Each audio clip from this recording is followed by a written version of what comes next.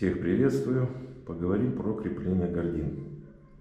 Когда вы покупаете гордину, одно крепление, второе крепление, ну пока поговорим без продолжения. Все делаете, все красиво, у вас будет все прекрасно.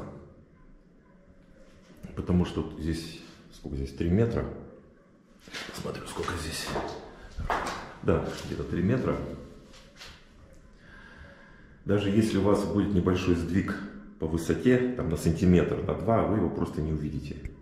То есть глаза это бросаться не будет. Но когда вы попытаетесь, как в моем случае, попытаетесь выстроить две гордины в одну линию, у вас может произойти перекос. Одна гордина может оказаться выше другой. С чем это связано? Сейчас я покажу. Вот этот механизм я уже все прикрутил. Я бы вам, конечно, показал бы, как это все происходит, но уже выкручивать не буду, потому что гипсокартон. У нас вот этот механизм крепления, это заливка обыкновенная, шикарный металл. О таком мечтал всегда. Их делают, ну, технологический процесс заключается в том, что это заливка. И, скорее всего, вот этот штырь, который сюда вставляется, он может смещаться или влево, или вправо. То есть заливка все равно будет неточная и нечеткая.